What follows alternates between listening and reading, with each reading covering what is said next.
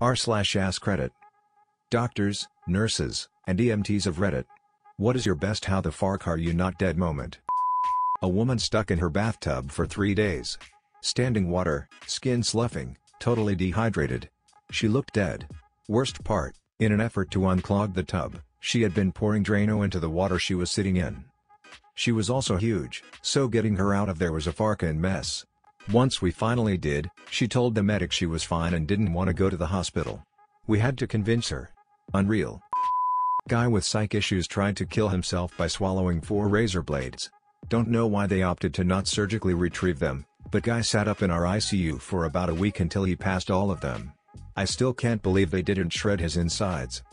My schizophrenic aunt swallowed two razor blades and a few nails one day, no bleeding nowhere, until the next day she complained about having a stomachache so my grandma brought her to the hospital, got a scan of the tummy, and it showed all the metals she had inside. Crazy stuff. I work in a neurotrauma ICU. I had a failed suicide attempt come in where a guy tried to shoot himself through the top of the mouth. For whatever reason, he failed and the round ended up blowing his entire face off. The bullet and his teeth fragmented and were peppered all over the inside of his brain.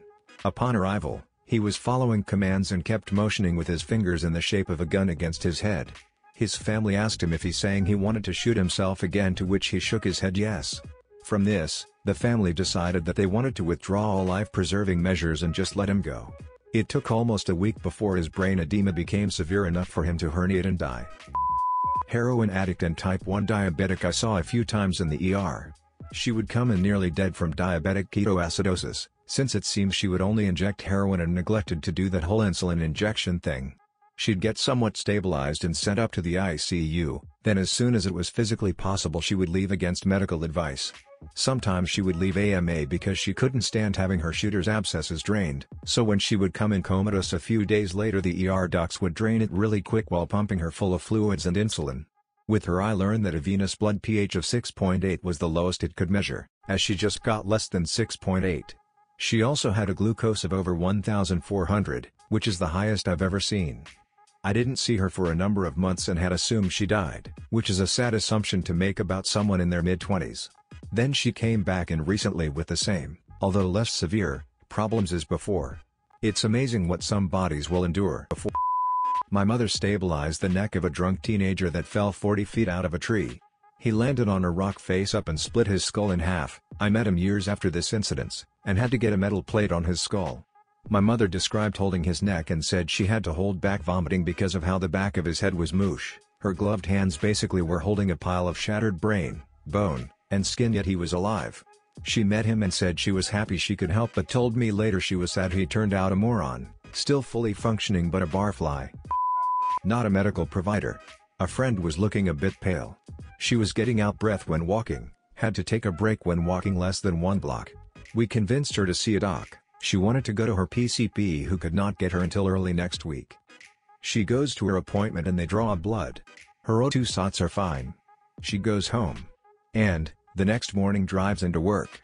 Her PCP office calls freaking out, her hematocrit is super low, she gets directed to the ER where she gets 4 units of blood.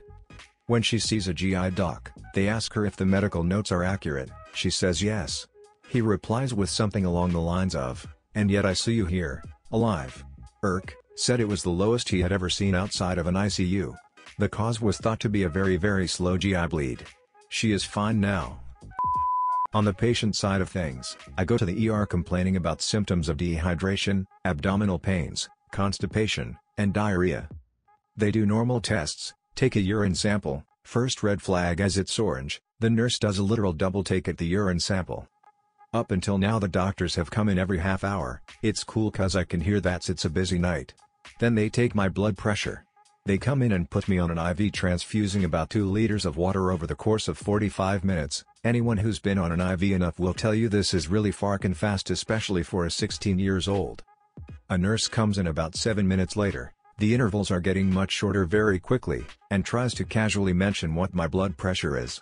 Now I've always run a little low and my norm for 16 is about 107-84. The nurse mentions that they think I may be staying overnight because they transfused about 2 liters of water and my blood pressure was still at about 80-40, the normal blood pressure for an infant for those who don't know. Next all the doctors and nurses came in asking how I was doing, and nurses who hadn't been informed of my blood pressure went silent when we told them what it was the previous time someone checked. It wasn't the first time I had been in the how the fark are you this okay with your condition, but it's the most recent. Sorry for the long read. I'm an EMT in a really diverse area. We get toned out for a GSW, with no updates. My squad runs two ambulances on all GSWs, I was on the backup truck, we get on scene and see a large crowd of people all screaming and crying. The cops point us to this kid who is holding his hand in his face. He has no obvious injuries, until he look up at us. Blood just started to pool out of his head. This kid was shot in the face but was still able to talk to us. He was losing an unhealthy amount of blood, so we very quickly got him in the truck and called for a bird, helicopter. As we are loading him in the back he asked us why am I alive? Those words stick with me, no one had an answer for him. We quickly start bandaging the wound. It's a small hole right above his eye, we can't find an exit wound and suspect the bullet is still inside of his head. He is bleeding so much that any piece of gauze is immediately soaked. We get a trauma dressing on the wound and it's barely working. Medics arrive and start with their IVs and fluids. The helicopter finally arrived and we were able to ship him to a good hospital. We later find out that the kid was shooting a rap video of his friend on his phone when the gun went off. The bullet traveled through the phone, struck him above the eye and started to bounce around in his head. The bullet exited below the kid's eye. We didn't see that hole from the amount of blood.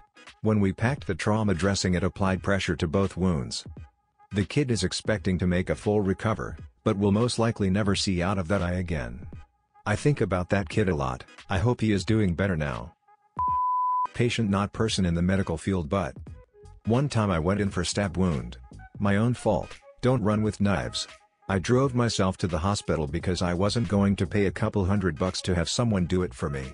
I get in there and the receptionist immediately started to freak out because I was as pale as an albino Irish gamer. They get me in the back and start asking me a bunch of questions on what happened. While they were hooking me up to shit I remembered something and said oh, you might wanna hook me up to some O blood. I'm anemic. All of their faces paled in unison as they immediately started getting that done. One of the RNs looked at me and just yelled in the loudest voice I have ever heard, probably because I was delirious with blood loss, how are you not dead or even unconscious from what you've lost in the last 5 minutes? Edit, I didn't lose a lot of blood it just looked like I did because I was trying to keep pressure on the wound with only my hand, because I didn't have time to grab a cloth, and my pants were already blood stained in the same area because I would use them when I butchered chickens. Also I looked really pale from blood loss because I am Irish and hence naturally really pale. The doctors freaked because a lot of misunderstandings led to the assumption that I had lost a lot of blood. Edit 2, this happened during last summer while both of my parents were at work. Both worked an hour away from me in the hospital. I drove my four-wheeler to said hospital because this is Alaska and people do that. Not any kind of medical worker but I was working with an family friend I'm a caller L. Well L and I were cutting down trees with the chainsaws to make room for a new barn that her husband was gonna have built, cause it would be easier to see the horses from the house cause bears have been roaming around. Well it was going well up until around noon and I told her we should take a break since it gets hot in the summer in Tennessee, 99 degrees plus weather with hella humidity. She says she is good so I just got and get a drink from the cooler up the pathway to the house and I hear a loud pop and crackle and then a grunt so I book it down a little pathway to see Elle laying on her back face bloody as hell her little glasses broke and the chainsaw on the ground. My heart sank I thought she was dead and then she started to get up and ask me to find her glasses I was in shock and I'm sure she was too so I called 911 and walked her up pathway and met up with the EMT. At the porch of the house when he laid her down he asked me why I let her move and what happened so I explained to him what I heard and saw and that I was just in shock so a couple days go by and I stopped by her house to check on her and her husband informs me that she now has a steel plate in he head caused the chainsaw hit her head and shattered part of her skull and ripped up the skin pretty good so now she has a good size scar around where her hairline meets her forehead. Not a doctor, but a patient. When I was in 6th grade, I went home for some serious stomach pain. After about a three days of stomach pain, I woke up one morning feeling absolutely fine, and this lasted for about a day. Over the course of the next four days, the stomach pain gradually got worse and worse until it got to the point where I could no longer stand, and that's when my mom decided to take me to the ER. After waiting in the ER for a couple hours, I was taken back to the exam room, and within moments the doctor knew what was wrong and immediately rushed to an operating room. Turned out that I had a serious case of appendicitis, and the day that my stomach had stopped hurting was when it had burst. I remember the doctor saying he had never seen someone survive for 24 hours after an appendix had burst, but I didn't get to the hospital for 4 days. I'd love it if you liked and subscribed.